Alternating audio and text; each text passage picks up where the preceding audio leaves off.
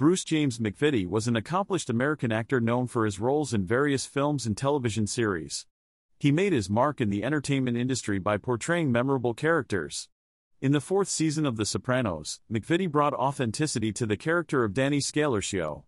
He also graced the silver screen in the acclaimed film Million Dollar Baby, sharing the screen with stars like Clint Eastwood, Hilary Swank, and Morgan Freeman. MacVittie's career extended to various television shows, including Miami Vice, The Equalizer, LA Law, Homicide, Life on the Street, and more. His performances were marked by depth and skill, making him a respected figure in the industry.